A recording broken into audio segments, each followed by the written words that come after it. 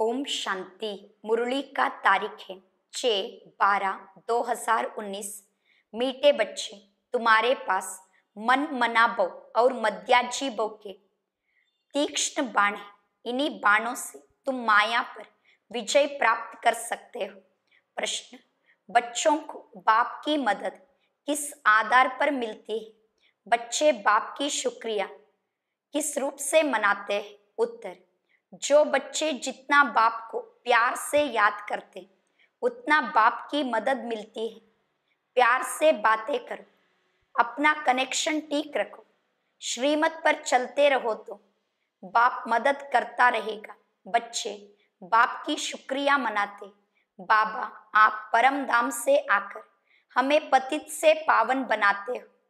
आपसे हमें कितना सुख मिलता है। प्यार में आँसू भी आ जाते हैं। ओम शांति। बच्चों को सबसे प्रिय है माँ और बाप। और माँ बाप को फिर है बच्चे बहुत प्रिय। अब बाप, जिसको त्वमेव माताश्च पिता कहते हैं। लौकिक माँ बाप को तो कोई ऐसे कह ना सके। या महिमा है ज़रूर, परंतु किसकी है या कोई जानते नहीं। अगर जाने तो वहाँ चला जाए और बहुतों को ले आए। और बहुतों को ले आने के लिए वहाँ चले जाए, परंतु ड्रामा की बावी ही ऐसी है। जब ड्रामा पूरा होता है, तभी आते हैं। आगे मूवी नाटक होते थे। जब नाटक पूरा होता था तो सभी एक्टर्स स्टेज पर खड़े हो जाते थे। यहाँ भी बेहद का बड़ा नाटक है। यहाँ भी सारा बच्चों की बुद्धि में आना चाहिए। सत्युग, त्रेता, द्वापर, कलयुग। यहाँ सारी चक्र का ज्ञान बुद्धि में यहाँ सारी सृष्टि का चक्र है। ऐसे नहीं, मूल वतन, सूक्ष्म वतन में चक्र फिरता है। सृष्टि का चक्र यहाँ ही फिरता है। गाया भी जाता है, एक ओमकार, सतनाम, यहाँ किसकी महिमा है? बल ग्रंथ में भी सिख लोग महिमा करते हैं। गुरु नानक वाच, अब एक ओमकार या तो उस एक निराकार, परमात्मा की ही महिमा है। परंतु यहाँ लोग परमात्मा की महिमा को भूल गुरु नानक की महिमा करने लगते हैं। सदगुरु की महिमा करने के बजाय सदगुरु भी नानक को समझ लेते हैं। वास्तव में, सृष्टि भर में महिमा जो भी है, उस एक की ही है और कोई की महिमा है नहीं। अभी देखो, ब्रह्मा में अगर बाबा की प्रवेशता नहीं होती तो यहाँ कौड़ी तुल्य है। अभी तुम कौड़ी तुल्य से हीरे तुल्य बनते हो। परम पिता परमात्मा द्वारा। अब है पतित दुनिया, ब्रह्मा की रात्रि। पतित दुनिया में जब बाप आते हैं और जो उनको पहचान लेते हैं, वहाँ उस पर कुर्बान जाते हैं। आज की दुनिया में तो बच्चे भी धुंधकारी बन पड़ते हैं। देवताएँ कितने अच्छे थे, अभी वहाँ पुनर्जन्म लेते लेते तमो प्रदान बन गए हैं। सन्यासी भी पहले बहुत अच्छे थे, पवित्र थे। भारत को मदद देते थे। भारत में अगर पवित्रता ना हो तो काम चिता पर जल जाए। सतयुग में काम कटारी होती नहीं। इस कलयुग में सब काम चिता के कांटों पर बैठे हुए हैं। सत्युग में तो ऐसे नहीं कहेंगे। वहाँ या पॉइजन होता नहीं। कहते हैं ना, अमृत छोड़ विष काहे को काये विकारी को ही पतित कहा जाता है। आजकल मनुष्य को देखो दस बारह बच्चे पैदा करते रहते हैं। कोई कायदा ही नहीं रहा है। सत्युग में जब बच्चा पैदा होता है तो पहले से ही साक्षात्कार होता है। शरीर छोड़ने के पहले भी साक्षात्कार होता है कि हम यहाँ शरीर छोड़कर जाकर बच्चा बनूँगा। और एक बच्चा भी होता है। जास्ती नहीं, सत्युग में एक ही बच्चा होता है, जास्ती नहीं। ला मुजीब चलता है, रुद्धि तो होनी है ज़रूर, परंतु वहाँ विकार होता नहीं। बहुत पूछते हैं, जब वहाँ विकार नहीं तो पैदाइश कैसे होती है? बोलना चाहिए, वहाँ योग बल से सब काम होता है। योग बल से ही हम सृष्टि की राजाई लेते हैं। बाहुबल से, सृष्टि की राजाई नहीं मिल सकती है। बाबा ने समझाया है, अगर क्रिश्चियन लोग आपस में मिल जाए तो सारी सृष्टि पर राज्य ले सकते हैं, परंतु आपस में मिलते नहीं, ला नहीं कहता। इसीलिए दो बिल्ले आपस में लड़ते हैं और माकन तुम बच्चों को मिल जाता है। कृष्ण के मुख में माकन दिखाया है, या सृष्टि रूपी माकन है। बेहद का बाप कहते हैं, या योग बल की लड़ाई शास्त्रों में गाई हुई है। बाहुबल की नहीं। उन्होंने फिर हिंसक लड़ाई शास्त्रों में दिखा दी। उनसे अपना कोई संबंध नहीं है। पांडवों कौरवों की लड़ाई है नहीं। यहाँ अनेक धर्म पाँच हज़ार वर्ष पहले भी थे जो आपस में लड़कर विनाश हुए। पांडवों ने देवी देवता धर्म की स्थापना की। यह है योग बल जिससे सृष्टि का राज्य मिलता है। माया जीत जगत जीत बनते हैं। सत्युग में माया रावण होता नहीं। वहाँ तोड़े ही रावण का भूत बनाकर जलाएँगे। भूत चित्र कैसे से कैसे बनाते हैं? ऐसा कोई दैत्य वहाँ असुर होता नहीं। या भी नहीं समझते हैं।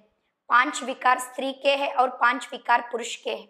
उनको मिलाकर दस शीशा वाला रावण बना देते हैं। जैसे विष्णु को भी चार बुझाए देते हैं। मनुष्य तो या कामन बात भी समझते नहीं। बड़ा रावण बनाकर जलाते हैं। मोस्ट बिलवेड बच्चों को अभी बेहद का बाप समझाते हैं। बाप को बच्चे हमेशा नंबरवार प्यारे होते हैं। कोई तो मोस्ट बिलवेड भी है तो कोई कम प्यारे भी है। जितना सिकिलदा बच्चा होगा, उतना जास्ती लव होगा। यहाँ भी जो सर्विस पर तत्पर रहते हैं रहम दिल रहते हैं, वहाँ प्यारे लगते हैं। भक्ति मार्ग में रहम मांगते हैं ना?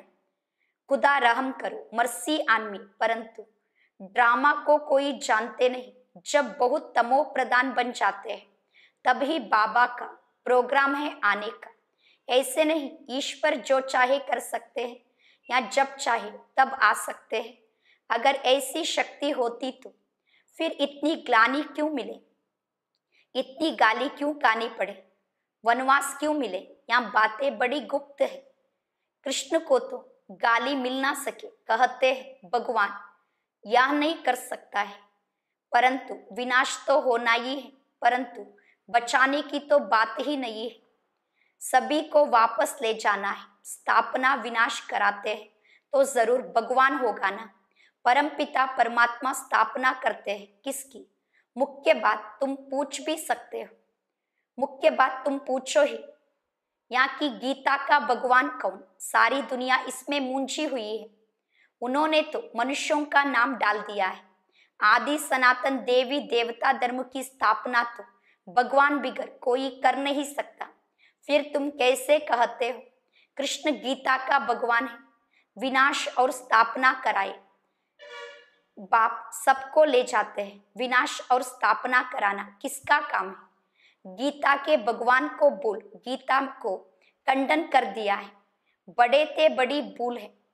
दूसरा फिर जगन्नाथपुरी में देवताओं के बड़े गंदे चित्र बनाए हैं। गवर्नमेंट की मना है गंदे चित्र रखने की। तो इस पर समझाना चाहिए। इन मंदिरों पर कोई की बुद्धि में यहाँ बातें आती नहीं। यहाँ बातें बाप ही बैठ समझाते हैं। देखो बच्चियाँ, कितना प्रतिज्ञा पत्र लिखती थी। कौन से भी लिखती है। एक कथा भी है ना, कृष्ण को कौन निकला तो द्रौपदी ने अपना चीर फाड़ कर बाँध दिया। यहाँ लव है ना? तुम्हारा लव है शुबाबा के साथ। इनका, ब्रह्मा का कौन निकल सकता है। इनको दुख हो सकता है, लेकिन शुबाबा को कभी दुख नहीं हो सकता, क्योंकि उनको अपना शरीर है नहीं। कृष्ण को अगर कुछ होगा तो दुख होगा। कृष्ण को अगर कुछ लगे तो दुख होगा ना? तो उनको फिर परमात्मा कैसे कह सकते हैं? बाप कहते हैं, मैं तो दुख सुख से न्यारा हूँ। हाँ बच्चों को आकर सदा सुखी बनाता हूँ। सदा शिव गाया जाता है। सदा शिव सुख देने वाला कहते हैं। मेरे मीठे मीठे सिकिलदे बच्चे जो सपूत हैं, ज्ञान धारण कर पवित्र रहते हैं, सच्चे योगी और ज्ञानी रहते हैं। वहाँ मुझे प्यारे लगते हैं। लौकिक बाप के पास भी कई बच्चे अच्छे होते हैं, कई बुरे बच्चे होते हैं। कोई कुल को कलंक लगाने वाले निकल पड़ते हैं, बहुत गंदे बन जाते हैं। यहाँ भी ऐसे है। आश्चर्यवत बच्चा बनंती, सुनंती, कतंती, फिर भी फारकती देवंती। इसीलिए ही निश्चय पत्र लिखवाया जाता है तो वहाँ लिखत फिर सामने दी जाएगी। ब्लड से भी लिख कर देते हैं, ब्लड से लिखकर प्रतिज्ञा करते हैं। आजकल तो कसम भी उठवाते हैं, परंतु वहाँ है झूठा कसम। ईश्वर को हाजिर नाजिर जानना अर्थात या भी ईश्वर है, मैं भी ईश्वर, कसम उठाता हूँ। बाप कहते हैं, अभी तुम प्रैक्टिकल में हाजिर नाजिर जानते हो। बाबा इन आँखों रूपी खिड़कियों से देखते हैं। यहाँ पराया शरीर है, लोन पर लिया है। बाबा कायदे सिर, सब बच्चों को समझाते हैं, बाबा किराएदार है इस ब्रह्मा के तन में। मकान काम में लाया जाता है ना? तो बाबा कहते हैं, मैं यहाँ तन काम में लाता हूँ। बाबा इन खिड़कियों से देखते हैं, हाजिर नाजिर है। आत्मा ज़रूर आर्गन से ही काम लेगी ना? मैं आया हूँ तो ज़रूर सुनाऊँगा ना? आर्गन्स यूज़ करते हैं तो ज़रूर किराया भी देना पड़ेगा। तुम बच्चे, इस समय नरक को स्वर्ग बनाने वाले हो। तुम रोशनी देने वाले, जागृत करने वाले हो और सब कुंभकर्ण की नींद में सोए पड़े हैं। तुम माताएँ जगाती हो, स्वर्ग का मालिक बनाती हो। इसमें मेजॉरिटी माताओं की है, इसीलिए वंदे मातरम गाया जाता है। भीष्म, पितामह आदि को भी तुमने ही बाण मारे मन मनाबो मध्याजीवों का बाण, कितना सहज है। इन्हीं बाणों से तुम माया पर जीत पा लेते हो। तुम्हें एक बाप की याद एक की श्रीमत पर ही चलना है? बाप तुम्हें ऐसा श्रेष्ठ कर्म सिखलाते हैं, जो 21 जन कभी कर्म कूटने की दरकार नहीं पड़े। तुम एवर हेल्दी एवर वेल्दी बनते हो। अनेक बार तुम स्वर्ग के मालिक बने हो, राज्य लिया और फिर गवाया है। तुम ब्राह्मण कुलभूषण ही, हीरे तुल्य हो। तुम ब्राह्मण कुलभूषण हीरो हीरोइन का पार्ट बजाने वाले ड्रामा में सबसे ऊँचा पार्ट तुम बच्चों का है। तो ऐसे ऊंच बनाने वाले बाप के साथ बहुत लव चाहिए। बाबा, आप कमाल करते हो। ना मन, ना चित हमको तोड़े ही पता था। हम सो नारायण थे, बाबा कहते हैं। तुम सो नारायण अथवा सो लक्ष्मी, देवी देवता थे। फिर पुनर्जन्म लेते लेते असुर बन गए हो। अभी फिर पुरुषार्थ कर वर्षा पाओ, जितना जो पुरुषार्थ करते हैं, साक्षात्कार होता रहता है, राजयोग। ये एक बाप ने ही सिखलाया था। सच्चा सच्चा, सहज राजयोग तो तुम अभी सिखला सकते हो। तुम्हारा फ़र्ज़ है बाप का पहचान सबको देना। सभी नीदन के बन पड़े हैं। यहाँ बातें भी कल्प पहले वाले, कोटों में कोई ही समझेंगे। बाबा ने समझाया है। सारी दुनिया में महान मूर्ख देखना हो तो यहाँ देखो। बाप, जिसने 21 जन्मों का वर्षा दिया है, उनको ही फारकती दे देते हैं। बाप, जिनसे 21 जन्मों का वर्षा मिलता है, उनको फारकती दे देते हैं। यहाँ भी ड्रामा में नूंद है। अभी तुम स्वयं ईश्वर की औलाद हो, फिर देवता क्षत्रिय, वैश्य शूद्र की औलाद बनेंगे। अभी असुरी औलाद से ईश्वरीय संतान बने हो। बाप परम धाम से आकर, पतित से पावन बनाते हैं। तो कितना शुक्रिया मनाना चाहिए। भक्ति मार्ग में भी शुक्रिया करते रहते हैं। दुख में तोड़े ही शुक्रिया मानते हैं। अभी तुमको कितना सुख मिलता है तो बहुत लव होना चाहिए। हम बाप से, प्यार से बात करेंगे तो। क्यों नहीं सुनेंगे? कनेक्शन है ना। रात को उठकर बाप से बातें करनी चाहिए। बाबा अपना अनुभव बतलाते रहते हैं। मैं बहुत याद करता हूँ। बाबा की याद में आँसू भी आ जाते हैं। हम क्या थे? बाबा ने क्या बना दिया है? ततत्वम, तुम भी वहाँ बनते हो। योग में रहने वाले को बाबा मदद भी देते हैं। आपे ही आँख खुल जाएगी, कटिया हिल जाएगी। बाबा बहुतों को उठाते हैं। बेहद का बाप, कितना रहम करते हैं। तुम यहाँ क्यों आए हो? कहते हो बाबा भविष्य में श्री नारायण को वरने की शिक्षा पाने आए हैं, अथवा लक्ष्मी को वरने के लिए यहाँ इम्तिहान पास कर रही है। कितना वंडरफुल स्कूल है, कितनी वंडरफुल बातें हैं। बड़े थे बड़ी यूनिवर्सिटी है, परंतु गाडली यूनिवर्सिटी नाम रखने नहीं देते हैं। एक दिन ज़रूर मानेंगे, आते रहेंगे, कहेंगे बरोबर कितनी बड़ी यूनिवर्सिटी है। बाबा तो अपने नयनों पर बिठाकर तुमको पढ़ाते हैं, कहते हैं तुमको, स्वर्ग में पहुँचा देंगे। तो ऐसे बाबा से कितनी बातें करनी चाहिए, फिर बाबा बहुत मदद करेंगे। जिनके गले गूटे हुए हैं, उनका ताला खोल देंगे। रात को याद करने से बहुत मज़ा आएगा। बाबा अपना अनुभव बतलाते हैं। मैं कैसी बातें करता हूँ अमृत वेले? बाप बच्चों को समझाते हैं खबरदार रहना। कुल को कलंकित नहीं करना। पाँच विकार, दान में दे, फिर वापस नहीं लेना। अच्छा मीठे मीठे सिकिलदे बच्चों प्रति माता पिता बाप दादा का याद, प्यार और गुड मॉर्निंग रूहानी बाप की रूहानी बच्चों को नमस्ते। हम रूहानी बच्चों की, रूहानी बाप दादा को याद, प्यार और गुड मॉर्निंग नमस्ते नमस्ते नमस्ते। धारणा के लिए मुख्य सार फ़र्स्ट पॉइंट बाप का प्रिय बनने के लिए रहम दिल बन सर्विस पर तत्पर रहना है।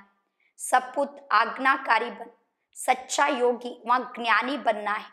सेकंड पॉइंट अमृत वेले उठ, बाप से बहुत मीठी मीठी बातें करना है। बाप का शुक्रिया मनाना है। बाप की मदद का अनुभव करने के लिए मोस्ट बिलवेड बाप को बड़े प्यार से याद करना है।